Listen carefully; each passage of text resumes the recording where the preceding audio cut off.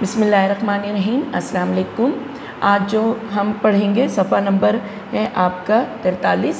नज़म है, नज़म का उन्वान है मौसम की बात। मौसम की बात, जैसे आजकल हमारे गर्मी का मौसम चल रहा है, इसी तरह पाकिस्तान में चार मौसम होते हैं। गर्मी, सर्दी, मौसम बहार और मौसम ख़ज़ा। ख़ास अल्फाज, बरसात, ठंडा, लू हल्कान लू कहते हैं गर्म, हवा जो चलती है और हल्कान निढाल होना, थक जाना। अब मैं नाज़म पढ़ती हूँ, इसके शायर हैं सर सरशार सदीकी आओ करें मौसम की बात, सर्दी, गर्मी और बरसात। जब सर्दी का मौसम आए, सूरज भी ठंडा पड़ जाए।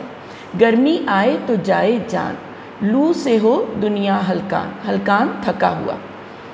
फिर जब आ जाए बरसात, बारिश बरसे दिन और रात।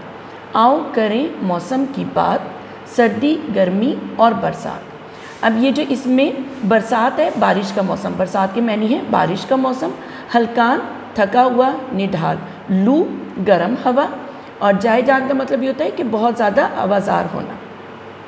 इसकी मश्क है सफ़र नंबर चवालीस पर। दुरुस्त लफ्ज़ के गिरद दायरा बनाएँ। ये आ, ये जो हम सौत यानी जिनकी आवाज़ें मिलती जुलती हैं वो हरूफ हैं। आपने ध्यान से करना है मौसम मौसम मौसम।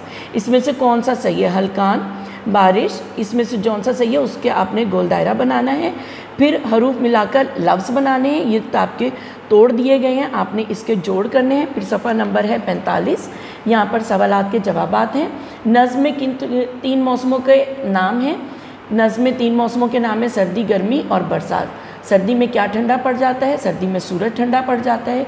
गर्मी में लोग किस वजह से हल्कान होते हैं? गर्मी में लोग लू की वजह से हल्कान होते हैं।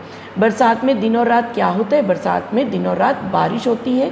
फिर है नंबर चार, आपको कौन सा मौसम पसंद है? अब आपने यहाँ पर जो आपका पसंदीदा मौसम है, उसके बारे में आपने मौसम भी लिखना है और उसके बारे में दो लाइनें लिखनी है कि वो आपको क्यों पसंद है। ये आपका इस हफ़्ते का सबक था। आपने बहुत अच्छे से पढ़ाई करनी है। इस सबक को याद करना है।